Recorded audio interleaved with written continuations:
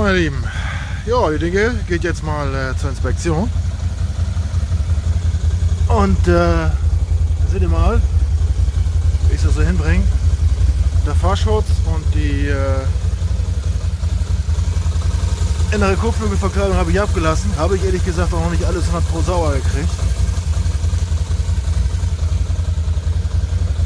Aber so schicke ich sie gleich auf dem Anhänger hin. Und so kommt es auf mich zurück. Ja, ich hatte ja in der Vergangenheit, oder die letzten paar Kilometer war ja vorne und hinten das Differential, habe ich das Öl gewechselt, die Bremsen sind ja mal neu gekommen. Und sowieso nach jedem, äh, ja, sag ich mal, Offroad-Part mit Wasser fette ich hier das ganze Fahrwerk ab. Und hier ist immer halt, äh, eigentlich möchte ich da gerne einen neuen Riemen drauf haben, gerade auch wegen den Reifen. Äh, ich vermute mal, dass die linke Spurstange klein weg hat und der hintere rechte Dämpfer.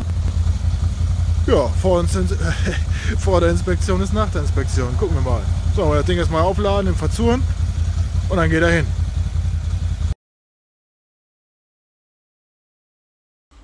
Moin und herzlich willkommen. Ja, wie ihr gerade gesehen habt, habe ich die Dinge auf Anhänger zur Inspektion gebracht.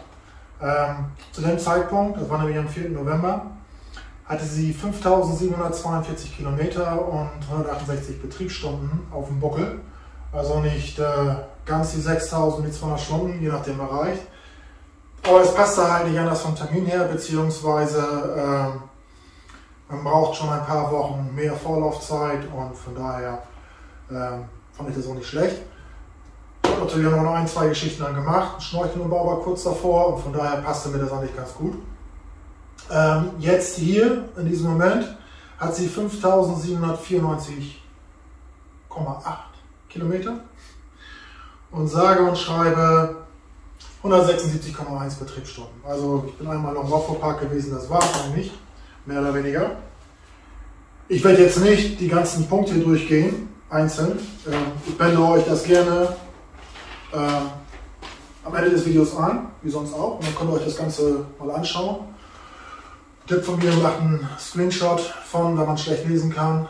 Wenn es im Handy guckt, dann könnt ihr es halt vergrößern und euch nochmal genau die Punkte angucken.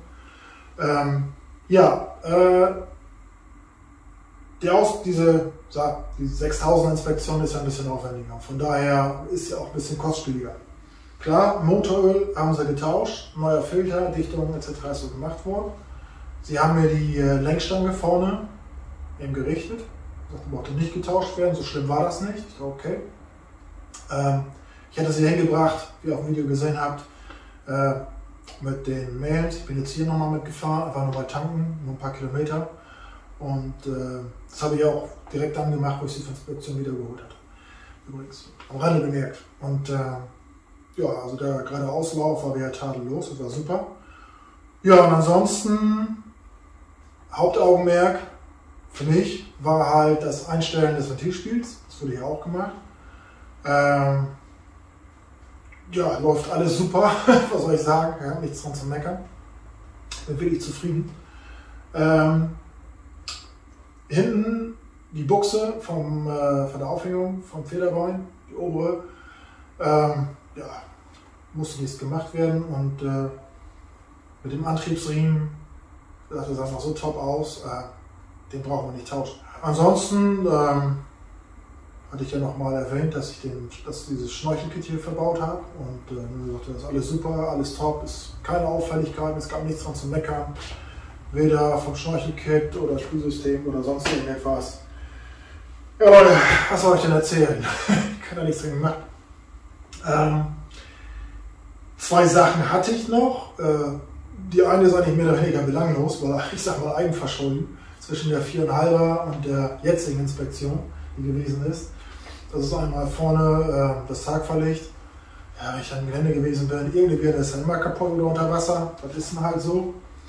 Und äh, hinten links, äh, müsste ich nochmal bei, äh, der Blinker, der hatte halt ein bisschen, äh, ich sag mal, ein äh, bisschen Kondensat halt drin. Ist halt ein bisschen Wasser reingekommen.